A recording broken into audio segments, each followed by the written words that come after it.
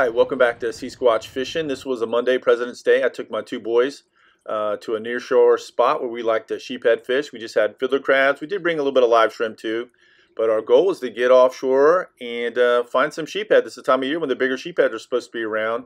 Uh, we got to our first spot, put the trolling motor down, and never moved. Fight a little harder up? Sheephead. Sling it in here, E. That one might make it. Sling it in, get high. All right. Beautiful. That's definitely a 12 inch fish. Good job, E. Thank you for coming fishing, man. Thank you so much. That was on the fiddler. Oh, a lane snapper. How about that? I got one. you got a fish, E? Okay. That's funny. We brought live shrimp to catch uh, lane snappers, and Griffin catches a lane snapper. Not much of one, but I'm sure he's legal uh, on the fiddler crab. All right, drop back down, E. Fish box is starting to look decent, pretty decent here already. All right, we got another hook up here on the fiddler crab. Uh, oh, red snapper. No, feels like a red snapper. Look when I get on a red snapper. Red bite. snapper, sheephead, like very similar though. Yeah. All right. That's what happens when you don't turn the camera on. Now the camera's on, buddy. Ah. Good fish. Good fish. Head. Yeah. All right. Griffin thinks that every time I turn the camera on, it's got a good fish. It turns into a red snapper. We just proved that wrong. Finally on again. I haven't been able to fish at all. Keep losing rigs. All right, what do we got? Sure hoping for not a red snapper. They've kind of showed up here on us. And now if it's a sheephead, you might be a keeper. I think he is a keeper. Yeah. Lob him in here. There we go. Probably a 13, 14 inch fish. Maybe not. Might be a 12 inch fish. I gotta make it. Yeah. Because of that? All right. All right. They're not big sheeps, but that one definitely is going to make it. No, I still got to measure that guy right there. Let's see what we got. They're about the same size. See here. It's got to be 12. Ah, see here. Yeah, this guy's almost 13. Not a lunker. I think that one's a little bigger you got, Griff. Maybe not.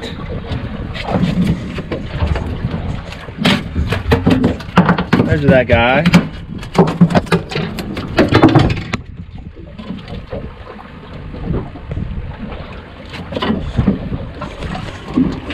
He barely makes 12. That's all it takes, so. Can't be picky about sheep. Nope. This box not looking too bad. Is it on now? Yep, it's on right now. So I'm hooking them. I'm using a little circle hook. We're offshore here, and you're required to use circle hooks when targeting reef species. Sheephead is an inshore species, but there's other fish out here. So technically, if we caught a legal sea bass or even the, that legal uh, lane snapper that Griffin caught, because we're using circle hooks, we're okay. If we were using J hooks and caught a legal fish like that, by law, we're not allowed to keep them when you're using natural baits. And someone's doubled up over here. He's gonna be mad at me for filming. If it's a red, oops. So he's got a toadfish. I don't think that's a toadfish. What you got over here? Oh, that might be the right color. Oh, that's a nice porgy. See like that? That that is a uh, reef species of fish. So I believe technically we have to have circle hooks in order to keep that fish, which we will. That one definitely is a keeper there. So that's why we're using circle hooks out here instead of J hooks. I think that's a uh, jolt. Yeah, I think it's a jolt head too. This might be the longest I feel like I've had to wait for a bite of some sort.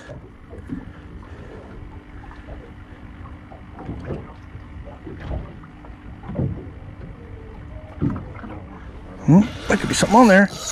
There's somebody on there. Yeah, nice. Yeah, that was why I was waiting because there was actually a fish on there. Every time I go like a long time without Oh yeah, look at that. Wow, getting heavy on me here. Yeah. Let's see. Yeah, I got black and white stripes. Yeah. gonna make it. Yeah, that guy makes it for sure. He's definitely one of the bigger ones we've caught out of the last dozen. All right. Yeah. Sweet.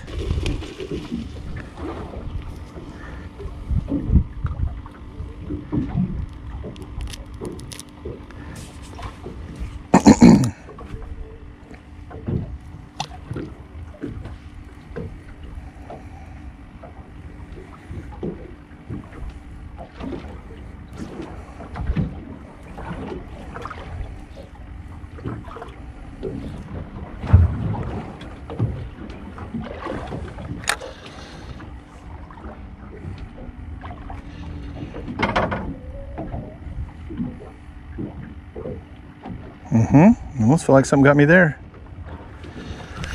There he is. I knew there was somebody on there. I knew there was somebody. He ain't much. He ain't much of a fish. But that, ooh, now he's trying to get heavy. Still not gonna be much of a fish. It's a red snapper. You think the red snappers move through? Well, I'm thinking I don't have a red snapper. I'm thinking I have a a, a mini. Uh, he's not going to make 12 inches, but dang, dang, might have got me. Ooh, might be back. There he is. He came back for it. Dang, this might be a better fish. I know my drag's pretty darn loose. All right. What do we got here? It's really weird, you know, I don't feel like these sheephead off here, outshore here, bite like the ones, you know, inshore around the jetties or whatever. You, you feel a bite and he's not on there, then you let set it back down, and then there's a, you know, they come back and get it like they, it's really bizarre. This one I think's gonna keep. This might be one of the better ones of the day for sure. Yeah. No need to measure that guy. He's gonna make it for sure. All right, last fish of the day, if he's on there. Oh, yeah, let's bring him in here. Take that guy. It's a little guy. Last fishy or sheepy of the day. All right, so that was it. We enjoyed just a beautiful day. Never saw another boat. We fished for about two and a half hours. We were really happy with our cooler there. Uh, right before we headed in, I went ahead and covered all the fish up in ice for our short boat ride back to Mayport. The ride in was just as nice as it could be, pretty and flat. Got home in time to clean all the fish and do a little gut bucket dump in the afternoon uh, to feed the birds and the fish that live right out at the end of our street. So if you made it to the end of this video, appreciate you watching and see you next time.